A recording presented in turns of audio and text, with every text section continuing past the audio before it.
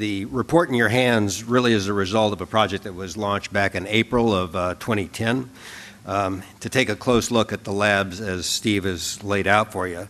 Now, though these labs are really not widely known outside maybe this room and, and, a, and a few people in the, uh, with a, a, real interest in this, they really sit at the intersection of health and security. And that's a topic that's obviously of interest to most folks in this room, but particularly with CSIS and the work that they've done on smart power, uh, Steve's commission that really looked at the smart global health policy.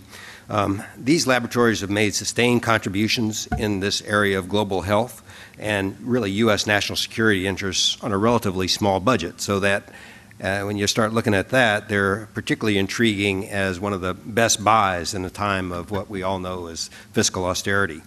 Uh, we look not only to catalog the strengths, but also to identify what challenges they might have and look to the future and try to make some recommendations that might help us move them in that direction. Um, these labs have been around for a while. Thailand since 1959, Kenya since 1969, Egypt since 1946, Peru since 1983. And you ask, well, what has enabled their longevity? And I think one of the answers is that they have become locally relevant and locally valued, while at the same time they have produced benefits for our soldiers, sailors, airmen, Marines. Um, they deal with diseases that have a profound local impact. And so they are seen locally as organizations that are legitimate and useful institutions. Ultimately, these Army and Navy labs serve our service members. And as we care about our service members, we are obligated to care about these labs as well. Uh, in serving the military, this research also produces drugs and vaccines that serve a role um, that serve really the health of all people around the world, and particularly, uh, you know, it targets the world's poor. And so that plays a role in our overall global health uh, interests as a nation. Uh, and it is the importance of all these things coming together that really, uh, I think, underscores the importance of and our interest in pursuing this study of our overseas labs. We we investigate infectious diseases, endemic diseases that are of importance to the host country, but also that are a threat to our troops. And so uh, it's, a, it's a balance where we, uh, we take young scientists uh, overseas and uh, uh, students and medical professionals and train them alongside us because you know the United States for the longest time has been one of the leaders in science and technology. So we've shared that with these countries and they've grown. We've uh, you know, if you, to use a naval analogy, we floated their boats along with us. And so they've risen to the occasion. Some of them have went on and taken great jobs in American industry. And so they've benefited, the country as, as a whole has benefited. So our, our efforts over there uh, as a force protection measure to protect our troops has also benefited the host country. Um, and you know, uh, we do a lot of uh, public health surveillance now, and that surveillance uh, involves uh, bringing in the host country social workers and uh, epidemiologists and others, and they get trained according to our standards, and so they go out and they improve their host comfort, uh, country infrastructure. As you mentioned in the outset, our force health protection mission is an important one. In fact, it's one of our key drivers. Our medical research and development programs in support of our force health protection requirements is paramount. And that requires key subject matter expertise in place in these countries around the world. That, coupled with our, our emerging and developing uh, disease detection mission, really puts us in a unique opportunity to be able to be responsive and adaptive to new and emerging disease threats. Some good examples over time are out there, such as responses and research programs related to cholera, uh, leishmaniasis, trypanosomiasis, more recently Rift Valley fever, uh, drug-resistant malaria, and influenza around the world. Um, these are all very key programs that over time have morphed uh, in response to, to new and, and emerging threats.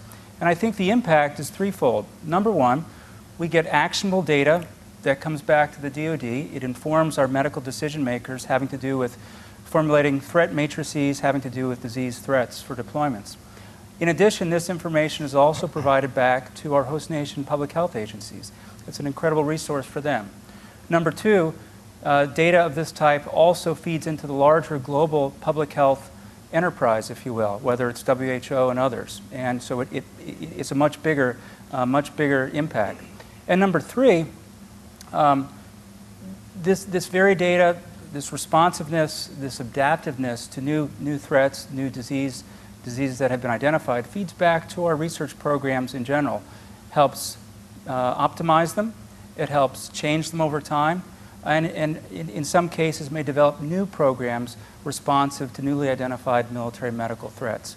So in the end, everyone wins. The military wins, it meets our force health protection uh, mission, the host nation wins, the global health uh, effort wins, and so it, it, it's very good for all concerned.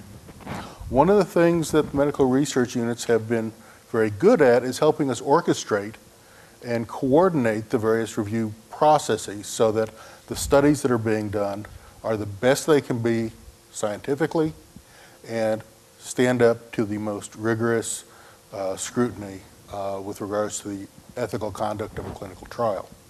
Uh, finally, I'd want to say that the, the medical research units cannot maintain their, their positions. World is changing, like you said. The medical research units actually have to stay on the cutting edge that they have been experiencing in the last several years. And it's paramount to their continued success. Now, I think there are aspects we haven't talked about in terms of the impact of the program. Certainly, as I saw it from the perspective of an ambassador, uh, the impact it has on the economy and, and the infrastructure. I mean, we have built uh, world-class facilities there. We've put world-class equipment into those facilities. Uh, we have made Kenya, uh, it is part of Kenya's regional leadership uh, as a result of what we've done just on this program, not to mention the broader relationship. Over 800 technicians claim, uh, trained uh, from the region, from sub-Saharan Africa in general. Um, and that's appreciated, I think, by the Kenyans. And institution building. We look at a climate in Kenya where clearly there's a culture of impunity. It's not, that's not an overstatement. And within that, to have an institution which is populated primarily by Kenyans with a small uh, degree of U.S. leadership, uh, promoting the values, institutional transparency and accountability. Uh, that's a very important dimension uh, of, of, of, the program, though not strictly related to the, uh, to the medical. You know, the, the report uh, that CSIS has pub published challenges us along, I think, at least three significant lines.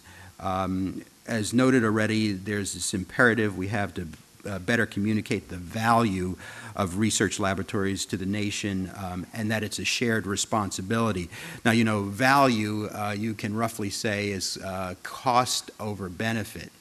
And so the issue is we've got to constantly put that out in front of everyone um, that for relatively uh, little dollars, uh, we get a huge benefit, not only in terms of protecting uh, the citizenry of this nation uh, and military folks in uh, specific, but uh, the additive value to the world is just incredible. And important, again, is getting back to this notion of strategic health engagement and building popula healthy populations and preventing disease.